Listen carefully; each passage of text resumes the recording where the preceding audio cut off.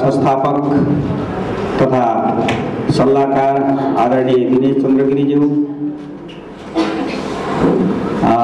लगायत अन्य सल्लाहकारज्यूहरू र विभिन्न संस्थाबाट उपस्थित हुनुहुने आदरणीय अध्यक्ष तथा प्रतिनिधिज्यूहरू र यस संस्थाका उपाध्यक्ष लगायत सम्पूर्ण कार्य समितिका सदस्यज्यूहरू र आज यस एघारौँ वार्षिक सभालाई सफलता गरिदिनु हुनुहुने आदरणीय सम्पूर्ण सेयर सदस्यज्यूहरू म यस एघारौँ वार्षिक साधारण सभाको अध्यक्षको मन्तव्य यहाँहरूसँग प्रस्तुत गर्ने अनुमति लिन चाहन्छु।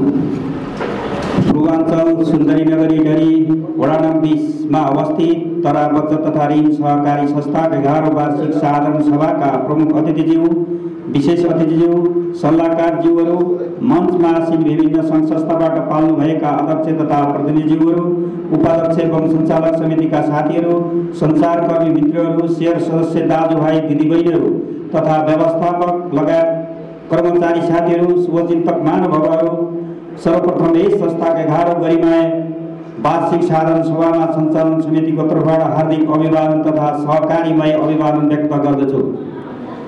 आदरणीय शेर सदस्य महानुभावहरू आर्थिक सामाजिक सांस्कृतिक परिवर्तनका लागि साझा उद्देश्य राखेर सामूहिक प्रयत्न र सहभागीबाट आफ्ना आवश्यकताहरू परिपूर्ति गर्न बनाएको सङ्गठनै सहकारी हो जसको प्रमुख मान्यता सबैको लागि एक र एकको लागि सबै भन्ने रहन्छ। यही मान्यताबाट प्रेरित भई दुई हजार चौसठी सालमा सीमित स्रोत मानव संसाधनमा स्थापित यस संस्थाले एक दशकको वसन्त पार गरी आजको एघारौँ वार्षिक साधन सभासम्म आउँदा विभिन्न उतार चढाव पार गर्दै यो स्थितिमा आइपुग्न पूर्व अध्यक्षज्यू तथा सम्पूर्ण सदस्यज्यू सदस्यज्यूहरूको महत्त्वपूर्ण भूमिका रहेको छ। देशको आर्थिक गतिविधि र बचत गर्ने ब्याङ्क वित्तीय संस्था सहकारी संस्था आदिमा उच्च प्रतिस्पर्धा रहेको वर्तमान अवस्थामा सेयर सदस्यहरूले लगानी गर्नुभएको रकम पूर्ण सुरक्षा दिँदै अधिकतम लाभांश वितरण गर्ने उद्देश्य हाम्रो संस्थाले लिएको छ। हामी सबैको साझा उद्देश्य भनेको सहकारीलाई कसरी समय सापेक्ष प्रतिस्पर्धी व्यवसायी सुदृढ र सक्षम बनाउने र सदस्यहरूको बढीभन्दा बढी वित्तीय आवश्यकताहरूलाई कसरी पुरा गर्ने भन्ने नै हो। तसर्थ सबै सदस्यज्यूहरूले यसप्रति गम्भीर भए सक्रिय सदस्यको भूमिका निर्वाह गरिनुहुन्छ भन्ने विश्वास राख्दछु। आदरणीय सेयर सदस्य महानुभावहरूमा म अब यस संस्थाको दुई हजार सतहत्तर साल असार मसान्तसम्मको सेयर बचत अवस्था बारेमा जानकारी गराउन चाहन्छु। एक सेयर सदस्यता अब दुई हजार त्रिहत्तर चौहत्तरमा सेयर सदस्य पुरुष एक सौ सडसठी र महिला एक सौ चौरासीजना गरी तिन सौ एकाउन्नजना रहेकोमा यस आब चौहत्तर पचहत्तरमा पुरुषतर्फ सातजना र महिलातर्फ नौजना गरी नौजना थप गरी जम्मा सोह्रजना वृद्धि भई तिन सौ सडसठीजना सेयर सदस्य रहनु भएको छ। सेयर पुँजी। सहकारी संस्थाको आधार भने नै सेयर पुँजी हो जसले संस्थालाई गति प्रदान गर्न मद्दत पुग्दछ। सहकारीमा सहकारीमा नाफालाई भन्दा पनि सेयर सदस्यहरूको सेवालाई प्राथमिकतामा दिइन्छ। यो नै सहकारीको आफ्नो पहिचान हो। गत आब त्रिहत्तर चौहत्तरमा सेयर पुँजी उन्तिस उन्तिस लाख त्रिचालिस हजार पाँच सौ भएकोमा यस आबमा आब दुई हजार चौहत्तर पचहत्तरमा चार लाख पचासी हजार पाँच सौ वृद्धि भई जम्मा चौतिस लाख उन्तिस हजार पुगेको छ। तिन बचततर्फ हाल संस्थाले नियमित बचत दैनिक बचत ऐच्छिक बचत सञ्चालन गर्दै आइरहेको छ जस अनुसार गत वर्ष दुई हजार त्रिहत्तर चौ चौहत्तरको बचत चौसठी लाख तेह्र हजार दुई सौ तिरासी रुपियाँ पचपन्न पैसा। यस आवमा चौहत्तर पचहत्तरमा बचत एकाउन्न लाख एकानब्बे लाख सत्र हजार दुई सौ पचपन्न सडचालिस पैसा र रहेकोमा बचत फिर्ता चौरासी लाख चौसठी हजार एक सौ पचपन्न चालिस पैसा हुन गएको छ र बाँकी बचत सत्र लाख छैसठी हजार तिन सौ तिरासी बैसठी पैसा रहेको छ। चार बाल बचततर्फ बाल बालि बालिकाहरूको उज्जवल भविष्यको लागि आर्थिक सेवा टेवा पुगोस् भन्ने उद्देश्य अनुसार आवत मा बालक के अरे चौहत्तर बालक उन्तिसजना र बालिका बिसजना गरी जम्मा उनपचासजना बाल सदस्य रहेकोमा यस आवक आवमा वृद्धि बालक चारजना र बालिका पाँचजना थप गरी जम्मा अन्ठाउन्नजना बाल सदस्य भएको जानकारी गराउन चाहन्छु। बचत सङ्कलन गर्नको लागि गर्नको साथ साथै ऋण लगानी गर्न पनि गर्न पनि संस्थाको मुख्य काम मानिन्छ। सदस्यहरूको ऋण मागलाई सकेसम्म छिटो छरितो र सजिलो तरिकाले ऋण उपलब्ध गराउने कोसिस गरिएको छ। ऋण लगानी र असुलीमा ऋण उपसमितिको अहम भूमिका हुन्छ। सोही अनुरूप विगत छ वर्षदेखि उठाउन नसकेको यस आबमा उठाइएको छ भने गत आब त्रिहत्तर चौहत्तरको लगानी चौरासी लाख सोह्र हजार एकचालिस थियो भने यस आब चौहत्तर पचहत्तरमा थप त्रिहत्तर लाख तेत्तिस हजार आठ सौ लगानी भई जम्मा एक करोड पचास लाख उनपचास हजार आठ सौ एकचालिसमा यस वर्ष ऋण असुली अठहत्तर लाख एकहत्तर हजार सात सौ अठार भएकोले यस आवकको बाँकी ऋण लगानीहरू एक्कासी लाख अठहत्तर हजार एक सौ तेइस रहेको छ। छ भाका नागेको ऋण भाका नागेको ऋण कुनै पनि वित्तीय संस्थाको लागि रोग हो। यस संस्थाको खुद नाफालाई घटाउने भूमिका खेल्छ। यसलाई न्यूनीकरण गर्न ऋणहरूलाई पटक पटक प्रत्यक्ष सम्पर्क राखी नागेको ऋण कम भइरहेको छ। हाल संस्थाको भाका नागेको ऋण असुल भइसकेको छ। साप बाह्य लगानीतर्फ क संस्थाको छाता सङ्गठनमा रहेको राष्ट्रिय सहकारी ब्याङ्क इटरीमा सेयर बिस हजार बचत बिस हजार बचत तेइस हजार दुई सौ चौतिस रुपियाँ सत्ताइस पैसा रहेको छ।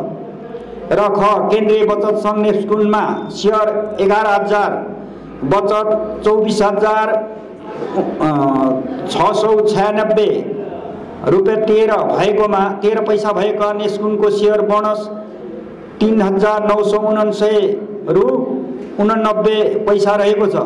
ग जिल्ला सहका सहकारी सङ्घ सुनसरी सेयर पाँच हजार र बचत चौध हजार पाँच सौ पचपन्न रहेको छ। घ बचत तथा ऋण सहकारी संस्था इटरीमा सेयर पाँच हजार र बचत त्रिपन्न हजार चार सौ चार रहेको छ। तरल ए रहेकोमा तरलता बचतमा बचत रु चौध हजार चार सौ चालिस र अन्तर लगानी बचतमा छ हजार चार सौ पन्ध्र जम्मा बचत सङ्घ सङ्घको खाता चौहत्तर हजार दुई सौ उन्साठी रहेको छ। म जिल्ला सहकारी सङ्घ लिमिटेड सुनसरी इटरी उपन उपमहानगरपालिका उपनम उपमहानगर समन्वय समितिद्वारा आयोजित अन्तर्क्रिया कार्यक्रममा चौहत्तर दस उन् उन्तिस गते भएको कार्यक्रममा संस्थाको अध्यक्ष नवेश चन्द्र राई लेखा समिति संयोजक हेमन्त गौतम व्यवस्थापक राजन नेउपाने सहभागी रहेको थियो। आठ सहकारी दिवस जिल्ला सहकारी सङ्घको आयोजनमा आयोजनामा एकसठौँ राष्ट्रिय सहकारी दिवस पब्लिक उच्च मावि धरान बाह्रमा आयोजना गरिएको कार्यक्रममा यस संस्थाको कार्य समिति अध्यक्ष नवेश चन्द्र राई संयोजकत्वमा संस्थाको अध्यक्ष लेखा लेखा संयोजक हेमन्त गौतम लेखा सदस्य सृजना लिम्बू कार्य समितिका सदस्य भरत गिरी आशा कुमारी चौधरी ऋण समितिका सदस्य दुर्गा गिरी व्यवस्थापक राजन नेउपाने कर्मचारी सृजना चौधरी सीता खड्काको उपस्थिति रहेको थियो। नौ केन्द्रीय बचत नेपाल केन्द्रीय बचत तथा ऋण सहकारी सङ्घले वार्षिक कार्यक्रममा जोखिममा आधारित साको सुपर्यवेक्षण तथा अनुगमन अभिमुखी कार्यक्रम मिति पचहत्तर दुई छ गते इटरीको हलमा गरिएको थियो। उक्त कार्यक्रममा अध्यक्ष नवेश चन्द्र राई र व्यवस्थापक न्युपा नेको सहभागिता न्युपानेले सहभागिता जनाएको थियो। दस छाता सङ्घहरू प्रत्येक छाता सङ्घको वार्षिक कार्यक्रमहरूमा यस संस्थाको सहभागिता जनाएको थियो। एघार बैठक यस आर्थिक वर्षमा यस संस्थाको सञ्चालक समितिको बैठकहरू। निम्न प्रकार भएको थियो। एक सञ्चालक समितिको नौ पटक दुई लेखा सुपर्यवेक्षण समितिको छ पटक ऋण उपसमितिको तेह्र पटक। बैठक बसी संस्थाको हितको लागि विभिन्न निर्णयहरू गरे गरेको छ। आवश्यकता अनुसार संस्थामा हुने कार्यक्रमहरूको लागि छिटो छरितो बनाउन। गठित उपसमितिहरूका बैठक बसी सञ्चालक समितिलाई विभिन्न सुझावहरू दिइने गरेको छ। बाह्र लेखा परीक्षण।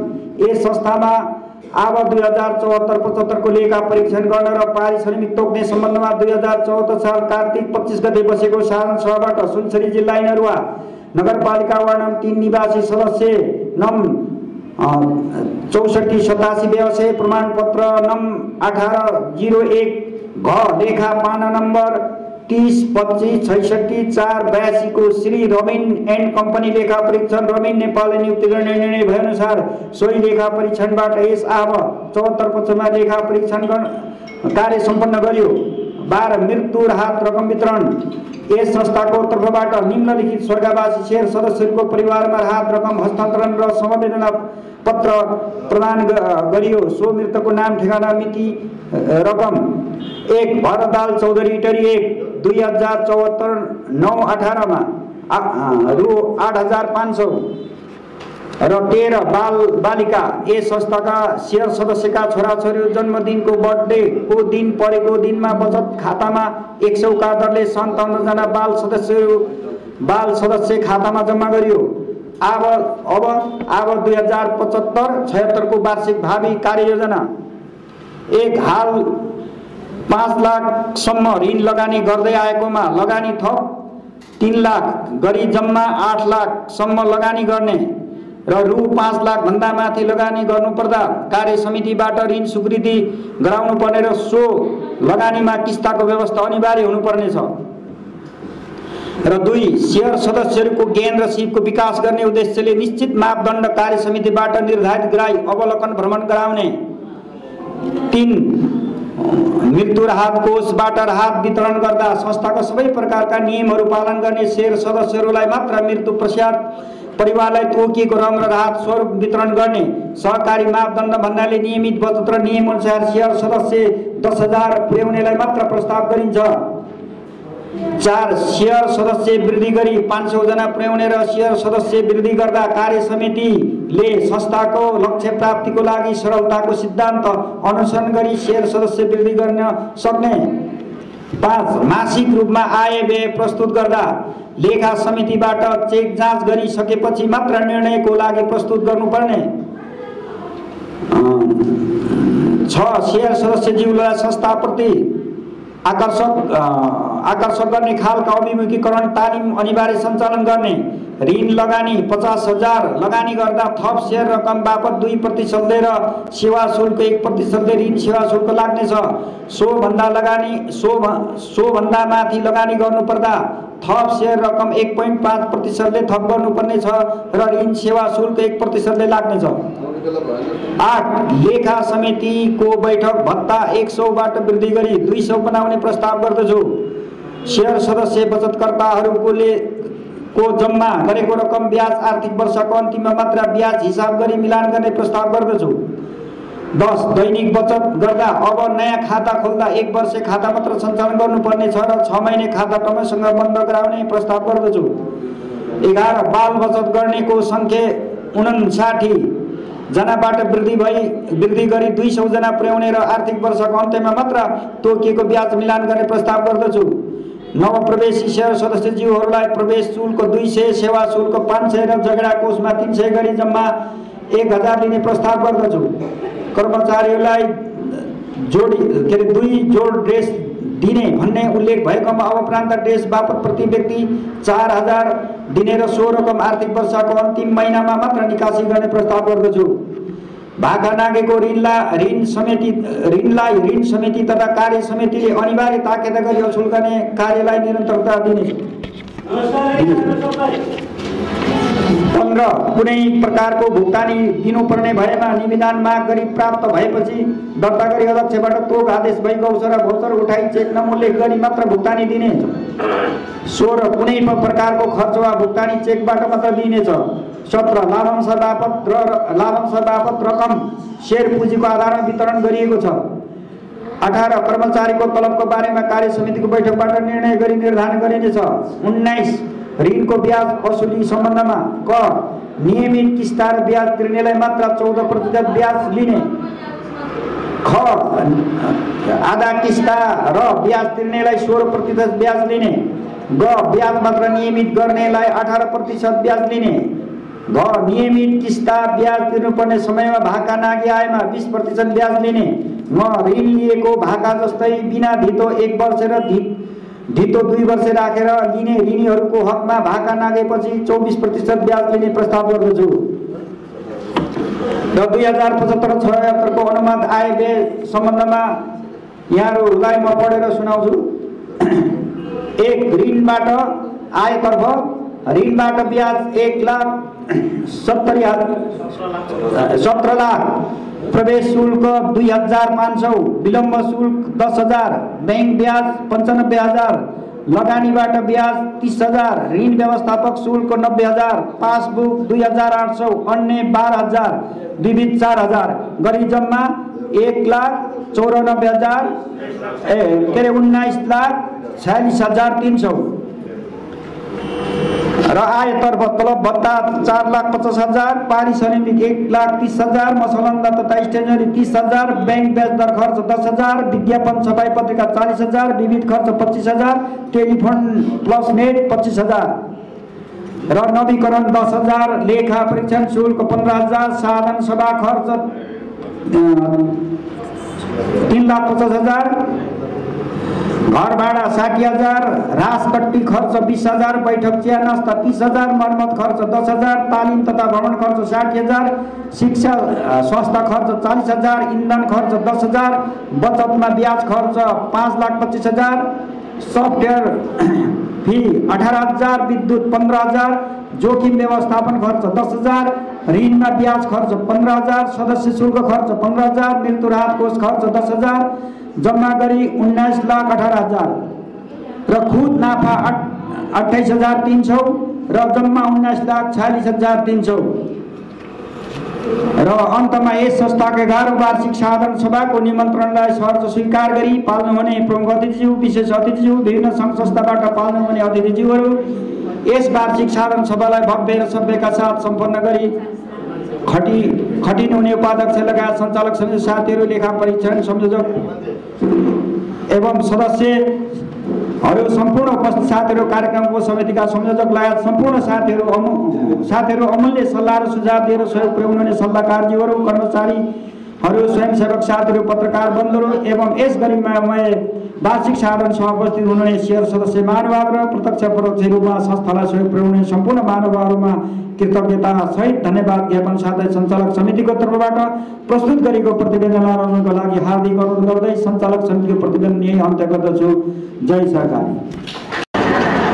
कति कमायो भन्दा पनि हामीले यो संस्थाबाट कति फाइदा लिन सक्यौँ सेयर सदस्यहरूले हामीलाई आवश्यक पऱ्यो बेला यहाँबाट हामीले आवश्यक पर्ने पैसा लिएर हामीले आफ्नो कर्ज टार्ने आफ्नो व्यवहार चलाउने गर्दछौँ।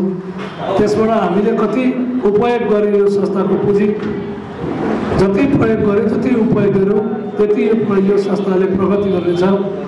संस्थाका मापदण्ड र एउटा नियमअनुसार यो चल्नुपर्ने हुँदा तपाईँ हामी सबैले यसबाट अवसर लिएर यसबाट फाइदा लिएर यसबाट उपलब्धि लिएर हाम्रो आफ्नो घर व्यवहार चलाउनु पर्ने हुँदा यसका लागि सम्पूर्ण सदस्य साथीहरूलाई यस संस्थाप्रति आस्था राखी यसबाट सक्रिय रूपले सहभागी आफूलाई आवश्यक पर्दा उपस्थित भई आफ्नो समस्या समाधान गर्न यहाँको निरन्तर पहल रहनेछ म यही कामना गर्दछु र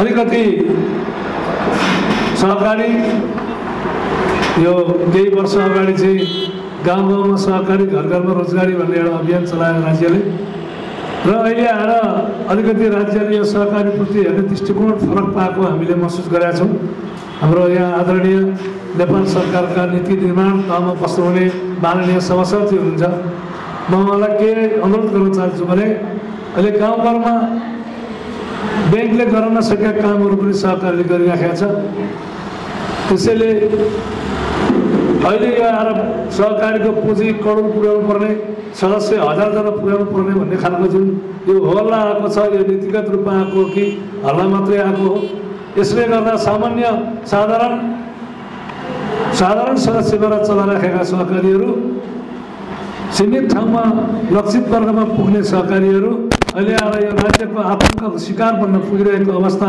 हामीले महसुस गरिरहेका छौँ।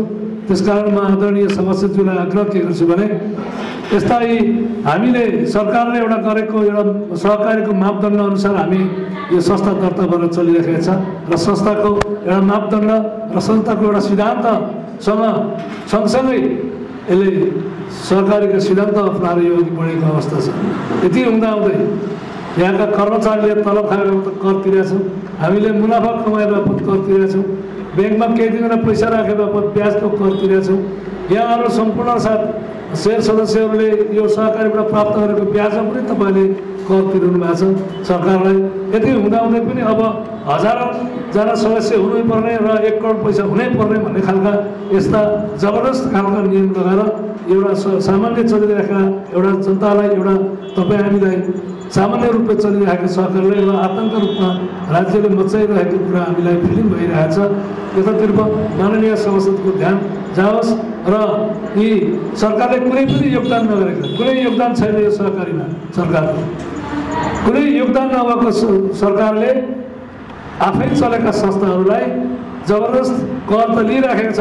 अब मापदण्ड पनि थाम्नै नसक्ने ठेल्नै नसक्ने खालका मापदण्डहरू तयार गरेर एउटा संस्थाहरूलाई आतङ्क मचाइरहेको कुरालाई माननीय सभा सभासदजी मार्फत नेपाल सरकार र यो नीति निर्माण गर्ने तहसम्म यो सन्देश पुगोस् र यस्ता साना गाउँघरमा चलेका सहकारीहरू सानोतिनो कर्जोट गरेर चलेर रहेका सहकारीहरूलाई पनि यसलाई अलिकति अगाडि बढ्न नीति निर्माणको तहबाट पनि यसलाई भविष्यमा हस्टे होस् र यस्ता डिजल हुने खालका मर्च गरिने खालका अब यो पुगेन भने मर्च गर्ने खालका जबरजस्त खालका नीतिहरू नाम र यो आइयो भने संस्थाहरूले अगाडि बढ्न सक्दैनन् र बुढा काप्चामा पुगेका जनताहरूले सेवा प्राप्त गर्न सक्दैन।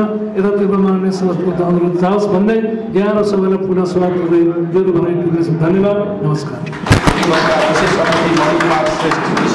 अध्यक्ष। मणि कुमार श्रेष्ठज्यूलाई आफ्नो सार्वजनिक मन्तव्य राखिदिन हार्दिक अनुरोध मैले नाम अलिकति बिचमा होला। मणिराम श्रेष्ठ।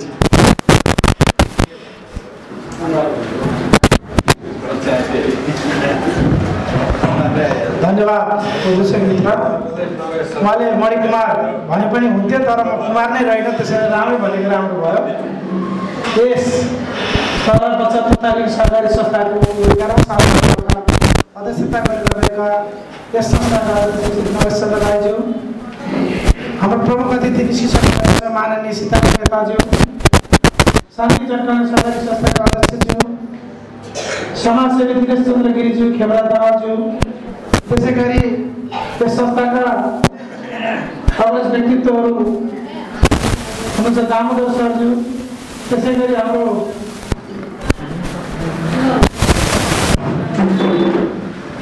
हाम्रो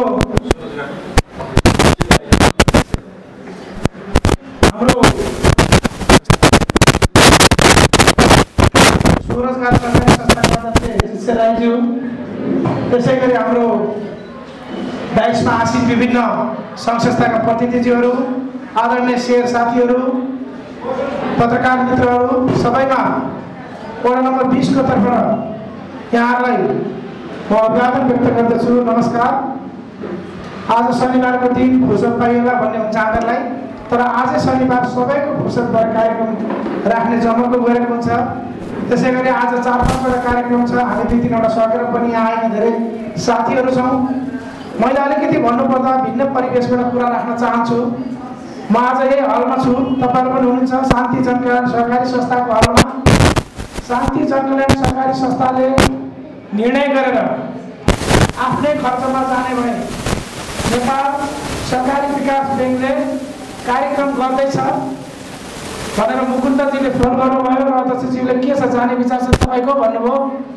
जाने हो। म सरकारी सम्बन्धी केही सिक्न चाहन्छु। कहाँ हो भने फर्कने आफ्नो लाग्छ भन्नुभयो ठिकै छ। भने त्यसपछि मलाई सँगै त्यो लाग्छ जस्तो लाग्दैन त्यो भिसा लाग्यो। भिसा लागेपछि हामी तिन दिनको कार्यक्रमलाई गयौँ। गएपछि हामी अमेरिका गयौँ एनसिपीहरूको नेतृत्वमा। आइटिआई भन्ने संस्थाले उहाँबाट एमएसीमा यो कार्यक्रम हामीले सञ्चालन गर्दैछौँ। त्यहाँ साथीहरू आउनुहुन्छ पठाएको छ। हामीले हामी गयौँ। र तिन दिनको कार्यक्रममा जाने बित्तिकै यहाँको त्यहाँको दिन मिल्दैन रहेछ यहाँ यो अब दिन हुँदैछ। त्यहाँ रात छिप्पिसक्यो। यसरी चौबिस बाह्र चौबिस घन्टाकै फरक हुन्छ। आज यहाँ एक तारिक छ भने उहाँ तिस तारिक भइरहेको हुँदो रहेछ। त्यो निद्रा नमिलेकोले आज चाहिँ तपाईँहरू दिनभरि नसुत्नु है नसुत्नु। भनेर राति सुताएर भोलिपल्ट हामीलाई वासिङटन डिस्ट्रिक्ट जानुभयो हामी वासिङटन धेरै टाढा। त्यहाँनिर कृषि सहकारी मेला लागेको रहेछ। सहकारी मेलामा गयौँ। मलाई अचम्म लाग्यो हुन त विकसित मुलुक त्यसको तुलना यहाँ हुँदैन। अमेरिका र नेपालमा के फरक छ? अब तपाईँले गएर नेपालमा के गर्नुपर्छ भनेर धेरै साथीहरूले मलाई सोध्यो। के गर्नु? यहाँको एक सय अठार रुपियाँ यहाँको जोड्दा त्यहाँ एक रुपियाँ के गर्नु मैले भनेर रमाइलो पनि गरेँ। त्यहाँनिर छ उत्पादन गरेर बेच्ने सहकारी रहेछ।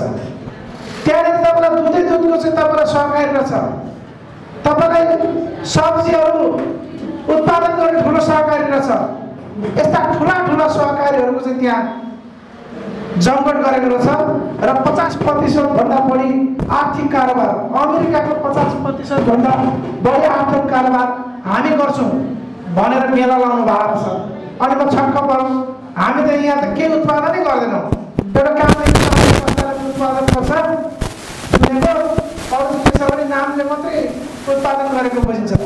र सहकारी चाहिँ यहाँ होइन यहाँ चाहिँ हामी के छ भने पैसा जम्मा गर्ने अनि समूह बनाउने पैसा चलाउने त्यति नै मात्रै छ। अहिले मैले यहाँ सुने चौध पर्सेन्ट अठार पर्सेन्ट बिस पर्सेन्ट ब्याजको कुराहरू चौबिस पर्सेन्टको ब्याजको कुराहरू यस्तो सहकारीमा हुँदैन। बढी ब्याजको कुरो हुँदैन। यो हाम्रो सबै सहकारीको यहाँ मात्रै। होइन बढी ब्याजको कुरो सहकारीमा हुँदै हुँदैन। सहकारी भनेको सहकारी हो। यसलाई व्यवस्थापन गरेर कसरी चलाउने? जनतासम्म कसरी पुर्याउने र निम्न आय भएको मान्छेको जीवनस्तर कसरी उकास्ने? भन्ने कुरोमा चाहिँ बढी फोकस गर्नु पर्दछ यहाँ त ब्याङ्कसँग कम्पिटिसन गर्ने। होइन जनतासँग चाहिँ असुल गर्ने। अनि आफूहरू चाहिँ हामीहरू जो म पनि शान्ति सङ्घर्षको बोर्डमा छु हामीहरू कसरी बसिराख्ने कसरी चाहिँ सबैले नमस्कार खाने त्यो किसिमको चलामान यो नेपालको सहकारी क्षेत्रमा देखेँ मैले।